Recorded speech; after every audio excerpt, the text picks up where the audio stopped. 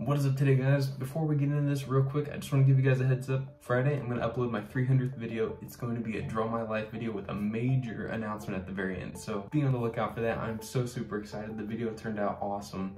Um, so yeah, just be on the lookout for that. Let's get into the video.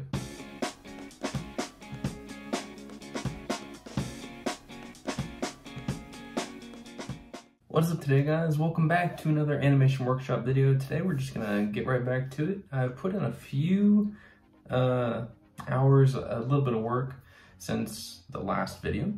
And uh, yeah, we'll just keep making some progress. I've got about, got about an hour, hour and a half that I can work on this today. So that's what we'll be doing today.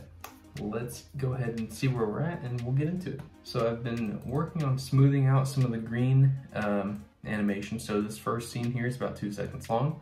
He just takes like a deep breath as the door's opening. So let's look at that real quick. It's not looking all too bad. I'll probably tweak it a little bit later on. Uh, and then the second scene here is probably where I'm gonna be working for a little bit today.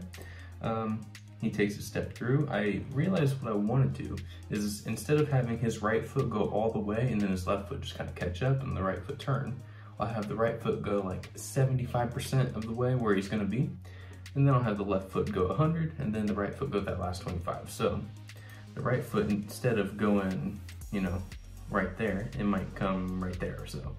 And then it'll do like a small step forward. So I'll probably adjust that a little bit. And then in this last shot here, they are still um, pretty stagnant. And then the orange guy does his flip coming through. And yeah, that's about where we're at so far.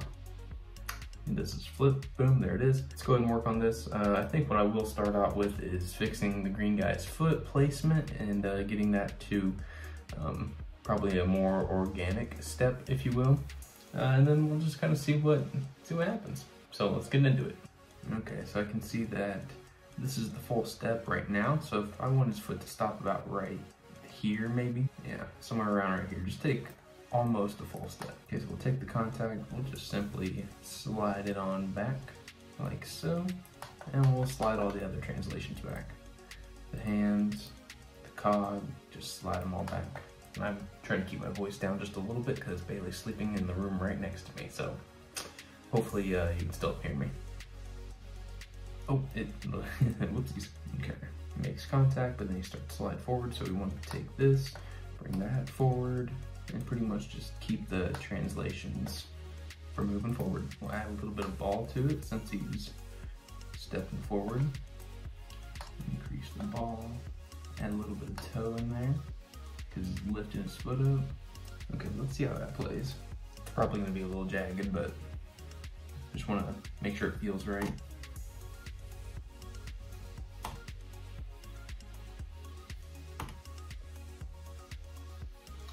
It feels right enough. Very, very jagged though, so we're gonna have to go through and fix that up. I'm seeing why it's being all jaggy because we moved the translations back. Yep, here it is. See, he was all forward like, and then we moved it back. Okay, so if we just get rid of this, just delete that. Okay, that seems to be a little bit better. Now let's look at the hands because I'm sure they're probably in the same boat. Oh yeah, I haven't gone through the hands and you can see how like rough all this is where we're just placing keys to get things where we want it to be, but still pretty rough. Yeah, let's do that one because that one, this one is uh, quite messy. Take a look see. So this area here, I have already smoothed out because that's the part where the door opens and he's just taking a deep breath and kind of one of those things. This area I have not, and there's a ton more keys here. Now more keys doesn't mean that it's bad. More keys, uh, in my case right now anyway, just means, hey, not as clean as it could be. So let's work on that. So what I'll do is I'll just simply go through each one of these and smooth out that curve. So I'll start with Translate X. Um, this one doesn't look all too bad. What I typically do is uh, I'll just find a key, grab it, move it up and down so I can see up here.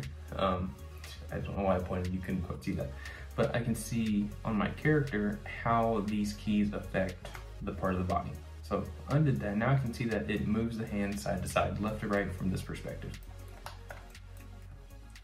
So let's go ahead and see.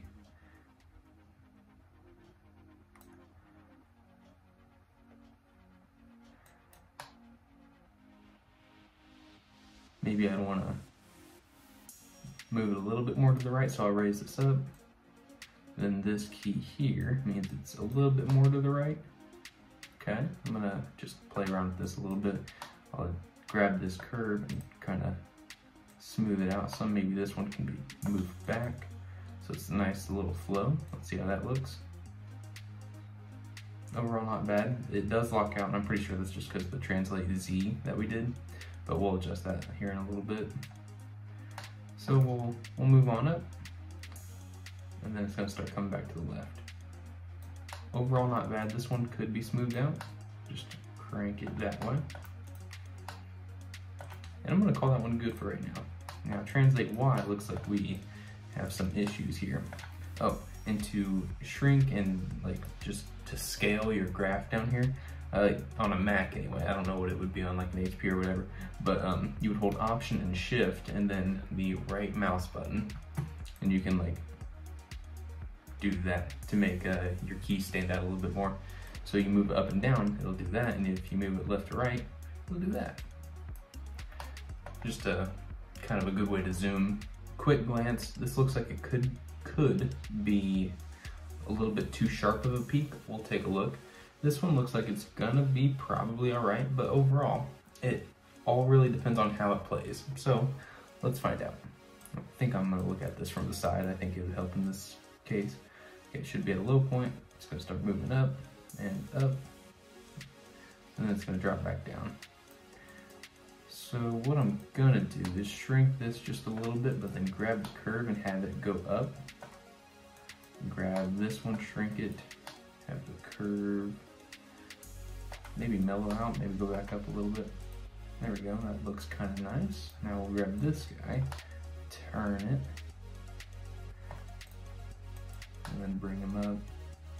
Okay, now we can see we're getting a nice little, nice curve. It's not as like pointed. So let's see how that, that plays, because overall that's what really matters. Okay, so what I can see here is that we could go down a little bit more right in this general area, so I'll push this down. And that creates a new key down here. Okay, maybe I don't want it that far down, so I'll pull it back up just a little bit. And it's all really just about making little adjustments to make your curves look better, because the more smooth they are, the better it's gonna play. And just keeping an eye how it plays in your actual scene. Okay, so overall, that one's not terrible. I bet my biggest issue is gonna be with Translate Z here. Yeah, this one's gonna be pretty big mess. We can see this one's all about moving forward or moving back.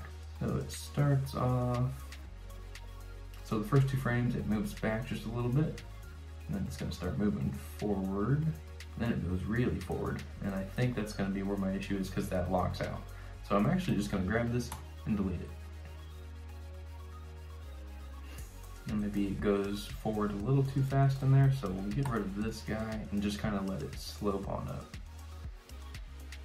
That could work. And then I'll go through and do the same thing with the rotations. It's probably not gonna be all too different and probably not too complicated because I haven't really messed around with that yet, but I'll adjust it so that the hand rotates and stuff as he's taking his few steps here.